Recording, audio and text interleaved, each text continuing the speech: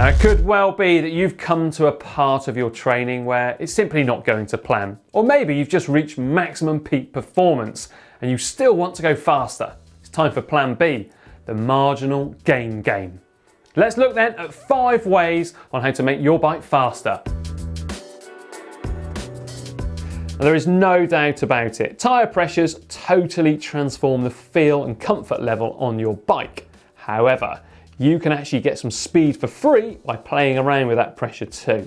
Now, years ago, we used to all put our tyre pressures up to virtually maximum and hope for the best, really, being bounced around from left to right, up and down, with every little bit of bad surface on the road. So, adjusting your tyre pressure to suit the road surface as well as your weight can actually make a massive difference. So, go ahead and experiment. However, if you're a track rider, then don't. Still stick to the maximum PSI. Yep, that's right. Long, flappy cables are far from ideal if you want to cheat the wind.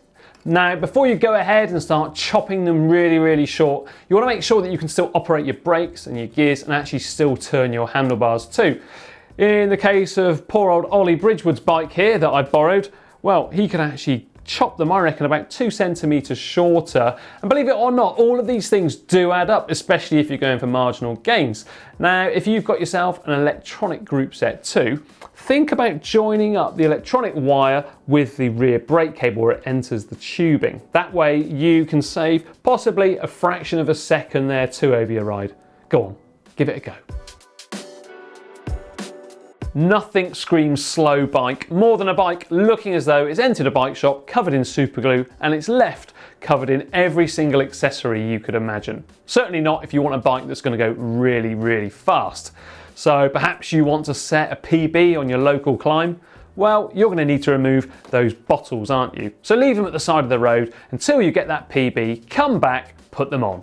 The same can be said for a humongous saddlebag think about what you really actually need to take with you on that bike. This one here, more than up to the job for most people.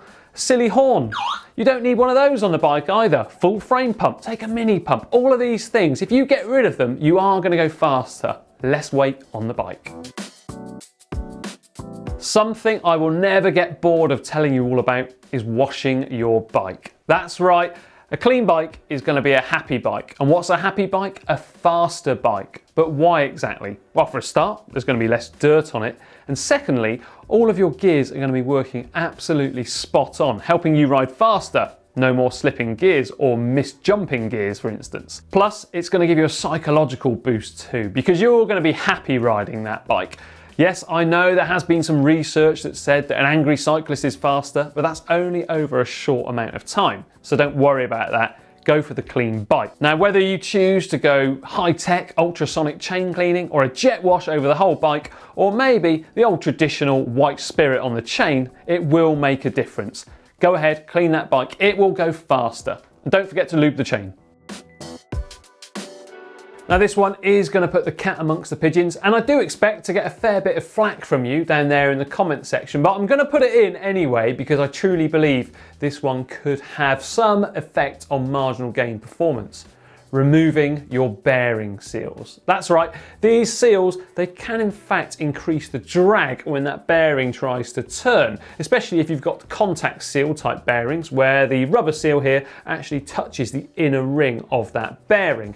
Now, if you were to do this, it will certainly shorten the lifespan of your bearings considerably because all the rubbish from the outside world is going to go inside of it. Well, not all of it, but bits of grit and dirt will go inside. The only place where I could recommend it, where I have done it, is if you were going possibly for the hour record on an indoor velodrome, because there you have a lot less foreign bodies floating around that could get sucked into those bearings. So there we are, five different marginal gains that you could take on board to make your bike a little bit faster. But as ever, what have you done to your bike to make it a little bit quicker? Let me know down there in the comment section and who knows, maybe your little hack or bodge will make it into the next video. I love to read what you've done. Now remember to like and share this video with your friends, give it a big thumbs up, as well as sharing it with maybe someone who could do with riding a little bit faster. Don't forget too to check out the GCN shop at shop.globalcyclingnetwork.com. And now for another great video, this time the latest GCN tech show. How about clicking just over there?